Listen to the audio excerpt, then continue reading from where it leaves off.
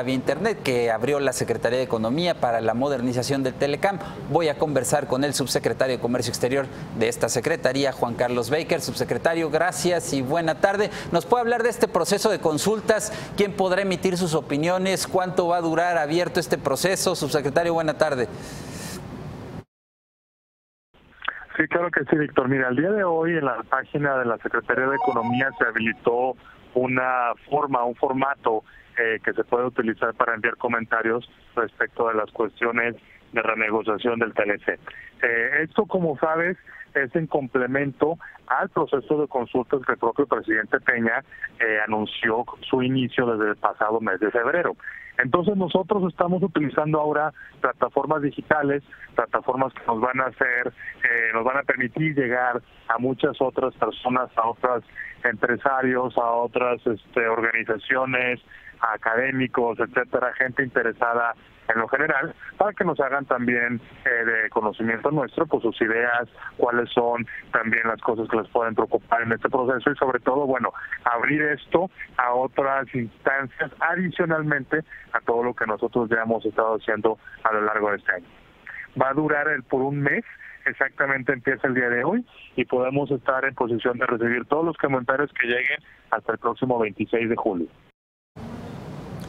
Eh, se buscó que este proceso empatara con las audiencias públicas en Estados Unidos que inician mañana o es algo independiente? No, son procesos independientes de la manera en la cual, este, como te describía, nosotros estamos en un proceso permanente de consultas.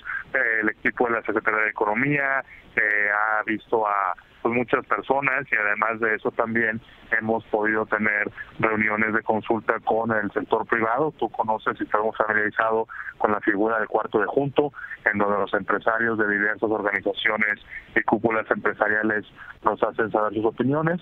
Y además, bueno, pues con esto también queremos ampliar el espectro de la gente que nos hace su opinión, pero son procesos totalmente independientes. ¿eh?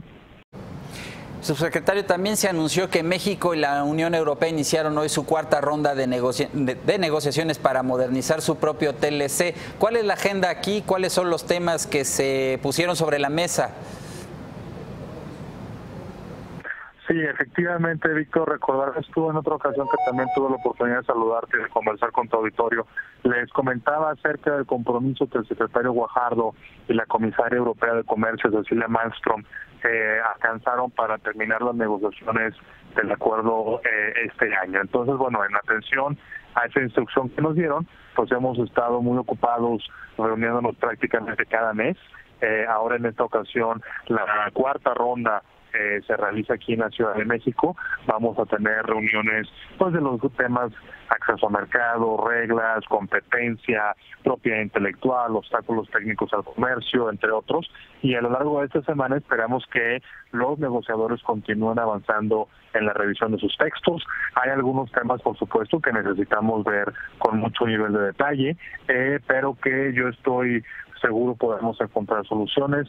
La verdad es un proceso que ha marchado bien, es un proceso que va caminando de acuerdo a lo que se nos instruyó y bueno, vamos a terminar eh, al, final de esta semana, cuando termine la ronda, pues volveremos a hacer otro corte en el camino para ver cuánto es el avance que se registró, cuántos son las cosas que todavía tenemos que seguir eh, empujando y sobre todo, pues eh, de cara a, a, las próximas ocasiones en que los equipos se reúnan, poder utilizar los tiempos y los recursos de la manera más eficiente para cumplir con ese objetivo. Bien, subsecretario Juan Carlos Baker, gracias por la información. Como siempre, Víctor, un saludo muy fuerte a tu auditorio, a ti y a tu auditorio y seguimos en comunicación. Buenas tardes. Claro.